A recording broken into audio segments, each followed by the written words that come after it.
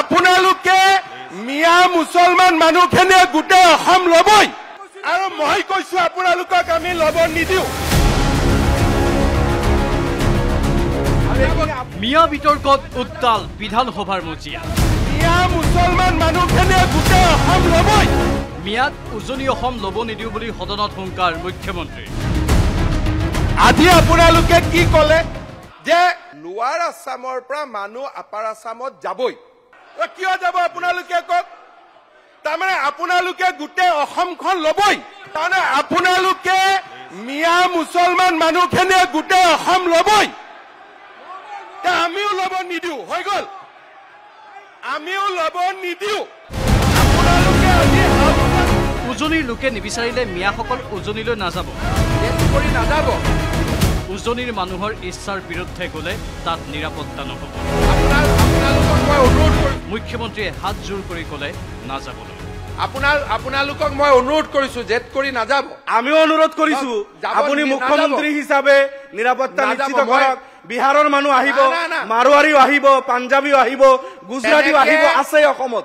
আৰু অসমৰে এখন জিলাৰ। মাননীয় মই- মুখ্যমন্ত্ৰী মহোদয়। আচ্ছা মই আপোনালোক সন্দেহযুক্ত মিয়াক উজনি অসম এৰিবলৈ ত্ৰিছ সংগঠনে নিৰ্দেশ দিয়াৰ পিছৰে পৰা উত্তাল হৈ আছে ৰাজ্যৰ ৰাজনীতি।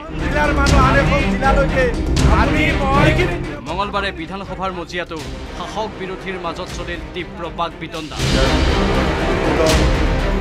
উজনিলৈ মিয়া যাবই বুলি হুংকাৰ দিছিল আমিনুল ইছলামকে ধৰি বিৰোধীৰ কেইবাজনো বিধায়কে।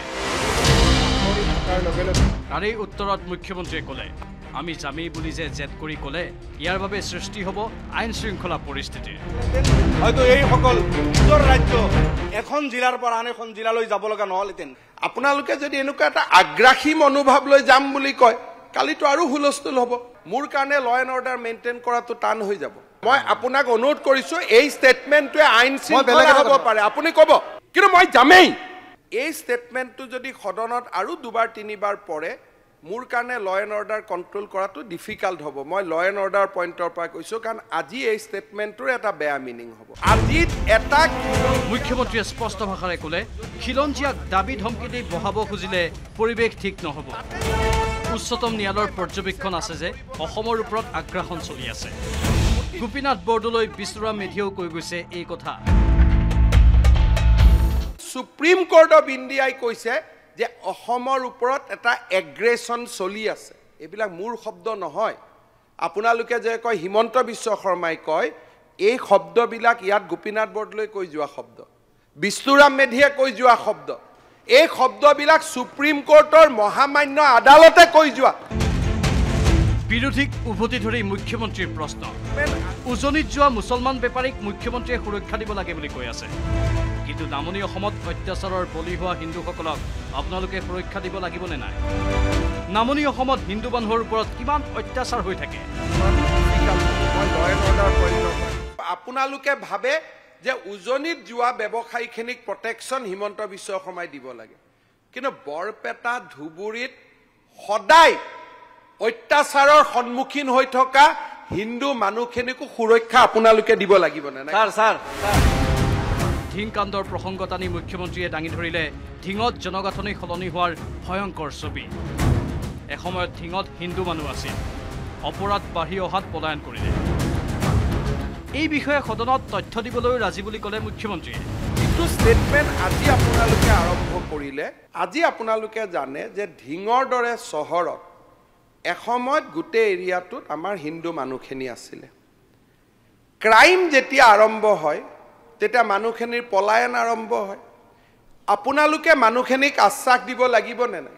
অহাকালি মই ঢিঙত পপুলেশ্যন কিমান চেঞ্জ হৈছে? হিন্দু মুছলমান নাইনটিন ফিফটি ওৱানৰ পৰা কিমান পৰিৱৰ্তন হৈছে? মই আপোনাক অহাকালি ব্যক্তিগতভাৱে ডেটাটো দি দিম। ইপিনে ধিঙৰ ধৰ্ষণক লৈ মুখ্যমন্ত্ৰীয়ে এটা ধৰ্মৰ লোকক টাৰ্গেট কৰি লোৱা বুলি অভিযোগ কৰি আহিছে বিৰোধীয়ে ইয়াৰো সমুচিত প্ৰত্যুত্তৰ দি মুখ্যমন্ত্ৰীয়ে ক'লে আপোনালোকে কয় মুখ্যমন্ত্ৰীয়ে ছাইড লয়। কিন্তু ছাইড কোনে লৈ আছে? মৰিগাঁৱত মুছলিম ছোৱালী ধৰ্ষিতা হওঁতেও মই নিজেই গৈছোঁ। কিন্তু ধৰ্ষণকাৰীক ৰক্ষণাবেক্ষণ কোনে দি আছিল মৰিগাঁৱত যেতিয়া মুছলিম ছোৱালীৰ ওপৰত ধৰ্ষণ হ'ল মইতো তাতো গৈছোঁ। লাহৰি ঘাটত। মইতো ৰেপৰ ক্ষেত্ৰত হিন্দু মুছলমান কৰা নাই। কিন্তু সেইজন মানুহকো ৰক্ষণাবেক্ষণ কোনে দি আছিলে? এতিয়া লাহৰীঘাটৰ বিধায়ক উঠি গ'ল। মোক তেওঁৱে কয় যে বেছি একশ্যন ল'ব নালাগে। মুখ্যমন্ত্ৰীৰ ভাষণৰ মাজত বহুবাৰ মাত দিলে অখিল গগৈয়ে। অধ্যক্ষৰ নিৰ্দেশো বাৰম্বাৰ অমান্য কৰাৰ পিছত অখিল গগৈক নিলম্বন কৰা হয়।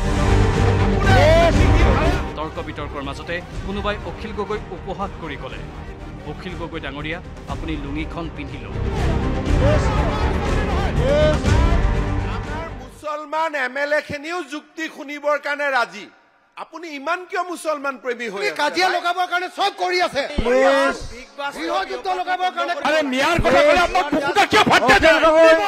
মাননীয় উপাধ্যক্ষ মহোদয় আমি হাউচত এটা ৰিজলিউশ্যন কৰিম যে ডেমগ্ৰাফিৰ দৰে কথা আলোচনা হলে অখিল গগৈক বাহিৰত ৰাখিব লাগে। এটাটো মই ৰিকুৱেষ্ট কৰিম ডিছকুৱালিফিকেশ্যন মুখ্যমন্ত্ৰীয়ে অসমত কাজিয়া লগা লগাব লগাবই লাগিব ৰখক। Akhil Gogoi you are suspended for ten minutes উজনিত জাতীয়তাবাদ নামনিত মিয়াবাদ প্লিজ উজনিত জাতীয়তাবাদ প্লিজ নামনিত মিয়াবাদ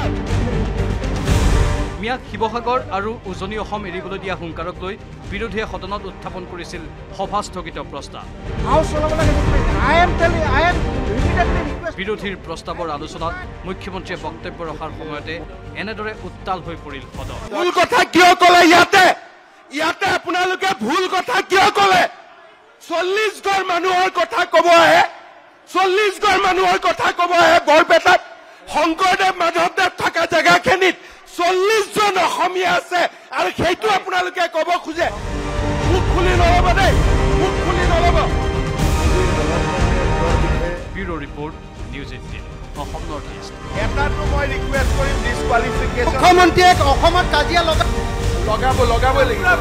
Akhil Gogoi you are suspended for ten minutes